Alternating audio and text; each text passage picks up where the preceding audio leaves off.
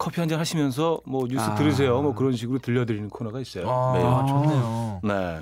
그 저희- 코너를 말씀하시는 거예요. 네네. 그럼 한번 저희 소개를 부탁드려도 네, 우리도 될까요? 한번 좀 배워보죠. 네, 저희도 배워서 네. 네. 따라해 봅시다. 네. 알겠습니다. 한번 해보죠 뭐. 네. 네. Coffee time. My dreamy friend, it's coffee time. Let's listen to some jazz and rhyme and have a cup of coffee. 커피 브레이크 시간입니다. 신문 보면서 커피 한 잔 하시죠. 일부러 멀리 찾아간 맛집 음식이 더 맛있게 느껴지는 진짜 이유에 대한 기사 보셨습니까? 미국 존스 홉킨스 대학의 연구팀이 쥐들을 가지고 실험한 결과 노력한 만큼 맛을 느끼는 효과가 강하고 오래 지속되는 것을 알 수 있었답니다. 연구팀은 식사가 다양한 동기와 배고픔의 정도, 기분에 따라 좌우되는 복잡한 과정이라고 말하면서 어떤 음식을 먹기 위해서 시간과 비용을 더 많이 들이면 더욱 맛있게 느낄 수 있다고 답했습니다.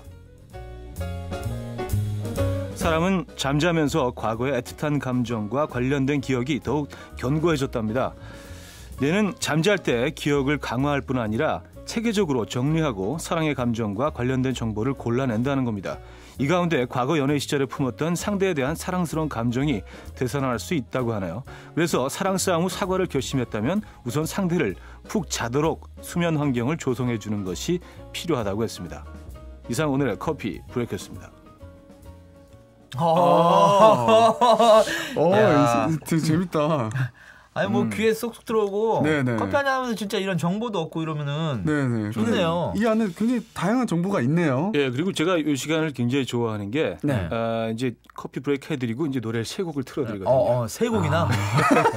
잠시 잠시 진짜 커피를 드시는구나. 아, 잠시 이제 휴식을 취하고. 네. 예. 어, 김선영 씨는 역시 7년 동안 하신 경력을 무시 못하겠네요. 야. 베테랑이시네요. 음. 느낌 아니까. 네. 늘 하는 오. 건데. 아니 근데 네.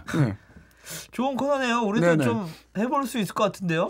괜찮아요. 못할 건 없을 것 같기도 네. 하고요. 아침에는 모닝 커피, 뭐 커피 브레이크 좋지만 음. 네.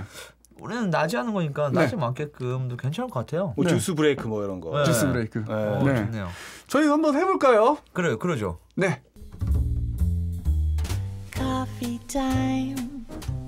My dreamy friend, it's coffee time. Let's listen to some jazz and rhyme and have a cup of coffee. 대주차 브레이크 시간입니다.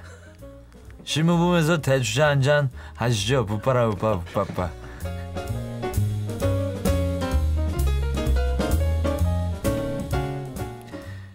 일부러 멀리 아주 멀리 찾아간 맛집 음식이 더 맛있게 느껴지는 진짜 이유 아세요? 멀리까지 가는데 맛없으면 열받잖아.